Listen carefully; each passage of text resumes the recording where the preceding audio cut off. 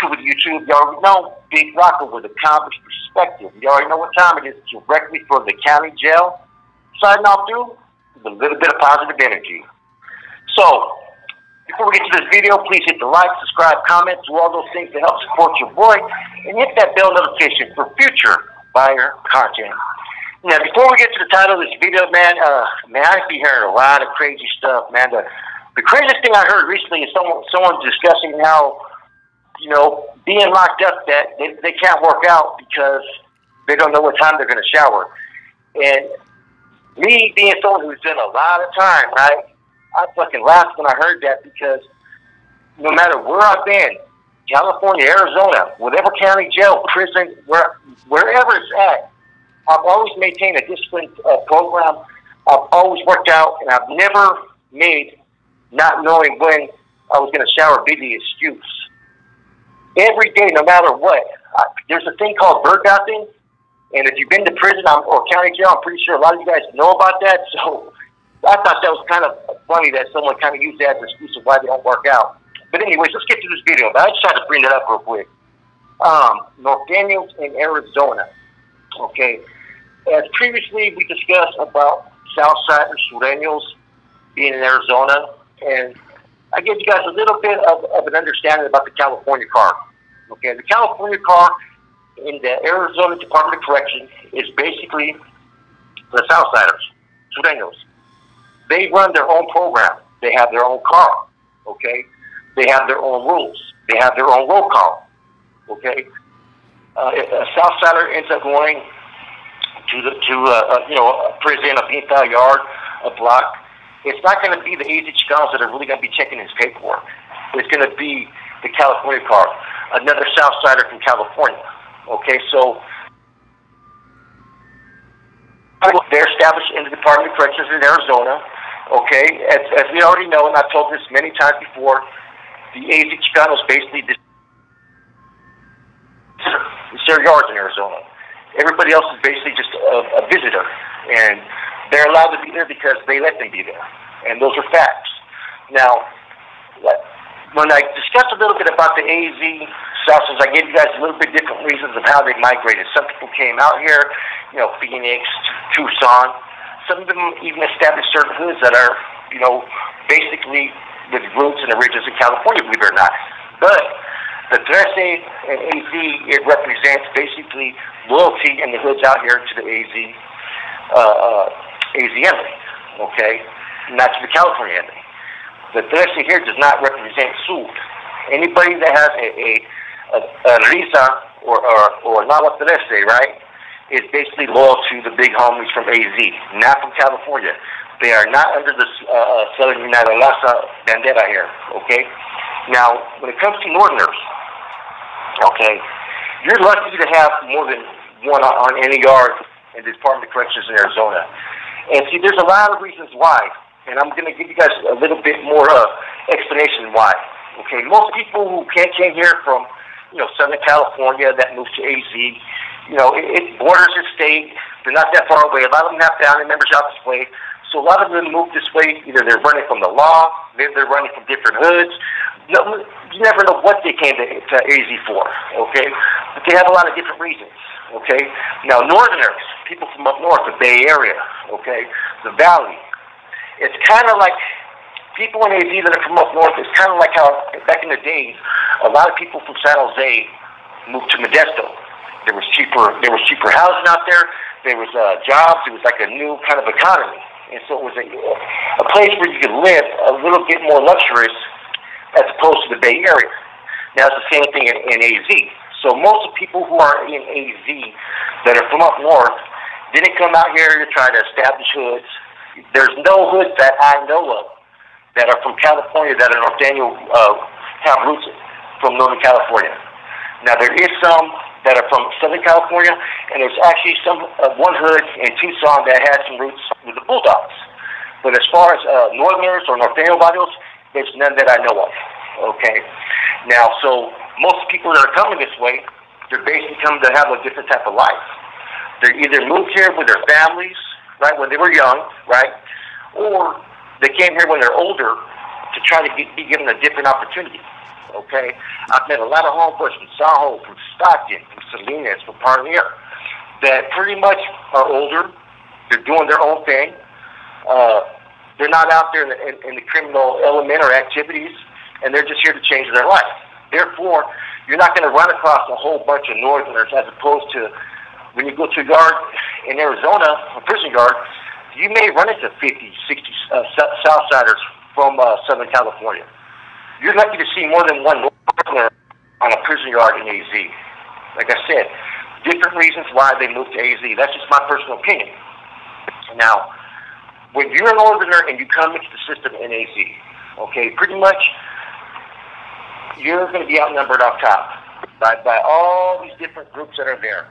You're going to have basically, you have Woods, you're going to have their car, going to have Crips, you're going to have Bloods, you're going to have Kinfolks, which is the blacks, you're going to have Bisas or BBs, you're going to have AZ Chicanos, and then you're going to have the Calicar, which is based in the south side.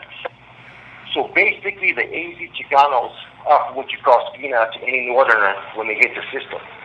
Now, there's been some conflict in the past, like I said, based upon some issues that happened in the Fed, which I'm not going to go, but apparently, from my understanding, a lot of that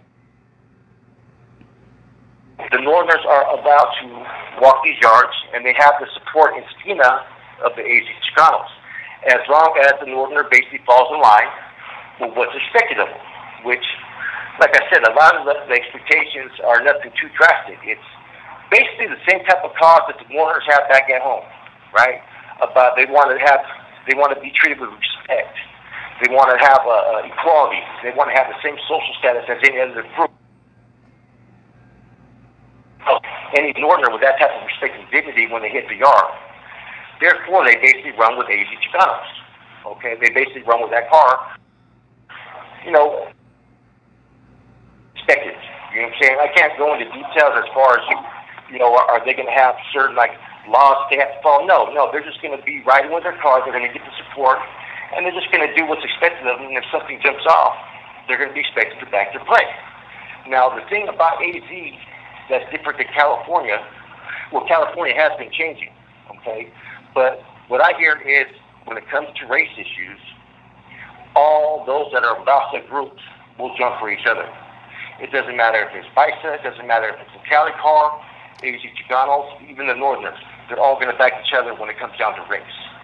So it isn't like California where you have separation, the Northerners, Southerners, and Bisas, and, you know, say the Southerners get into with the blacks. It's not always 100% sure if the Northerners are going to back their play or not. In AZ, they're all going to back each other. But, see, there was a time when certain owners were going to yards, and a lot of individuals from the county car didn't want them at first. They didn't want them out there. You know, I mean, traditional enemies in California. So Southside wanted to jump on the Northerners when they hit these yards. Now, what stopped that from happening was basically the AZ Chicanos. They gave them the, the Spina, the support, and whatnot. So when people see someone, like I said before, with a blessed day and they're from AZ, that's not in reference to that they're a Sureño or anything like that. That's just them uh, paying respect to their big homies, but their bandera that they fall under.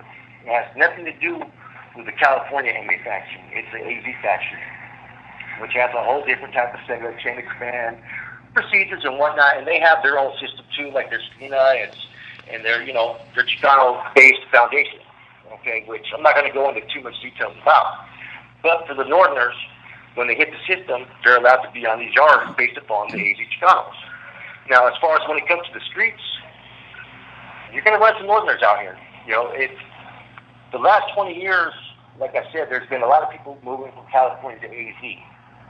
So it's not uncommon to, you know, be in, in a city like Tucson or Phoenix and come across a couple of Northerners, you know, that are from like San Jose, Modesto, you know, anywhere, Parlier, Woodlake.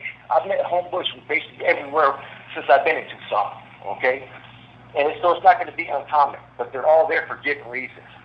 Some of them, most of them, like I said, came out here to have a better life, and they have legit businesses. You know, they're they have good jobs, and they, they basically bring those work trade skills that they acquired in California out to AZ, and they put them to use. Now, there is one situation that's kind of interesting, right?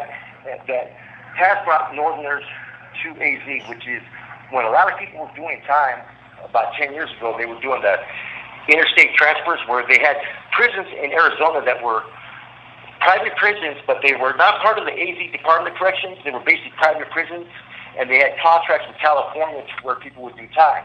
Like I think uh, Eloy was one of them. I think for a minute, or one of those prisons. I forgot which ones. Uh, damn, which one was it? So the tip of my tongue. Which prison is that in AZ that they were getting, sending California inmates to? Silly. It was Eloy. Yeah, Eloy. It's not like that no more, though, right? Okay. But for a minute, they had everybody separated. They were not. They were not doing time with. Uh, if you were coming with a CDCR number, you were uh, doing time basically at a prison just with other California inmates. Okay. They don't have that program anymore. But a lot of families moved out this way to be closer to their loved. Ones. Or they brought their teenage sons. Basically, then they brought their brothers, their cousins, and whatnot. So there's certain areas in AZ where now you got a small little, you know, a small little uh, nucleus of Northerners in different cities now. You know, I've been, I've been told this through a lot of different people. Now, you also have Yuma, which, if you're very familiar with Yuma, Yuma is the home of Cesar Chavez. Now, what did Cesar Chavez do for years? He was basically, you know, he was a, a vocalist, right? An advocate for labor workers' rights, working the fields, migrant workers, and whatnot. And there was a lot of people who migrated from Yuma to Salinas and that whole Monterey Peninsula to do work. Okay? So there's a lot of people who have not only family relationships, but friendships between the county. That I've been told that there is between Yuma and Salinas. And to further validate and verify that, there was an indictment that happened in uh, October of, I think September, October of 2021, um, right after Operation Quiet Storm. It was called, I want to say Operation Blackheart, and it was about basically some illicit activities that were going on between Yuma and basically Monterey County, Salinas. So, like I said, I've met people from Yuma, and they they all bump music like uh, Casper Lopes. They bump uh, Rico Tusco. They bump bands, and it's a trip how much influence now that individuals from Northern California sometimes have. Like I said, there's, you know, you have northerners in places like New Mexico. You have established hoods out there. Washington, Idaho, Utah, Colorado. AZ to this, to this current time, I do not know of one hood that is AZ based, right? And if there is, there may be some that I don't know about, and they probably have some type of influence from California. But that's pretty much how it is for Norteños and AZ. You know, they're currently they're allowed to walk the yards. You know, they, it's a lot harder for them to try to establish a household program in accordance to to Norteño functions. You know, it's not going to be like in California, to where when you get to a household, you have to establish a chain of command and set procedures and whatnot because it's rare that you're on a yard with more than one northerner, if there's going to be any at all. So basically, the ones that do come and hit the system, they're basically visitors. You know, they're just passing through, doing their time. You know, and what's interesting, like I said before, is a lot of people from, uh, you know, that run AZ Chicano, where they're Crip, Blood, uh, you know, traditional barrio cholo style uh, hoods and whatnot, they all yeah, kind of like the same type of uh, attitude like that the Northerners have. Like, like I was telling my seller, he was like, "Wow, you're right about this." And I go, "Man, I go, look, everybody here that's an AZ Chicano, look at them. They all look different. You know, some have bald heads, more traditional cholo looks. Some have braids in their hair. Some have long hair. Some have fades. And that's kind of the same way in like AZ because they have different areas. Like Phoenix, a lot of the hoods over there are more traditionally like kind of like barrio based. You know what I'm saying? More a little bit of both, but you also have Crips and Bloods, and you have Crips and Bloods also in Phoenix, right? So, like I said, it's it's you know it's all these different groups together. You know what I'm saying? But where, where I was going wrong with this, right before I got off track, was they have the same kind of attitude that the Nerds do when someone enters into their household. As everybody knows from previous episodes, bond number two, is basically you will have a strong attitude towards age, those of Latin descent. And basically that's the same thing that the AZ Chicanos afford any that has the system.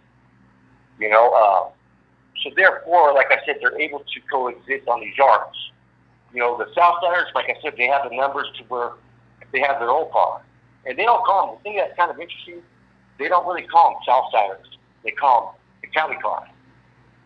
You know, and in reference to someone that's, that's, that's a northerner, it's just that they're looked at as just someone that's rocking AZ Chicano.